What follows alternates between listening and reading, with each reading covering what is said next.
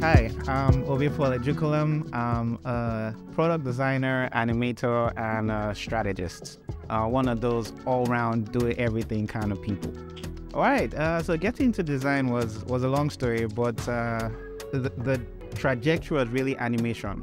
So I'm an animation person. I really I grew up around Disney cartoons, and later on I discovered anime. So I was like, why don't we have Nigerian cartoons? I was like, yeah, I'm going to do animation but there was nowhere to really do animation in Nigeria. So I was like, okay, learn design, learn illustration, then start animating. And like that was the whole trajectory, yeah.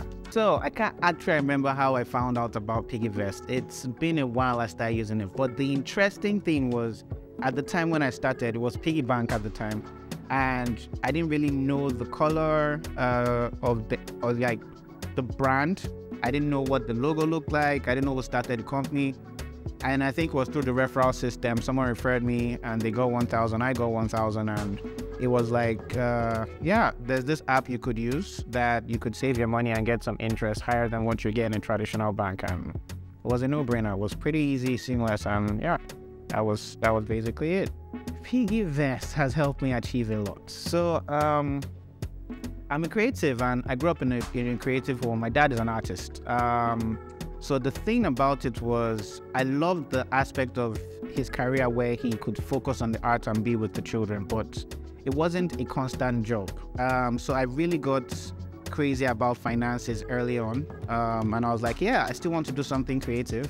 I ran away from traditional arts because I didn't want to just be painting like my dad. Um, but I realized that I had to get my finances.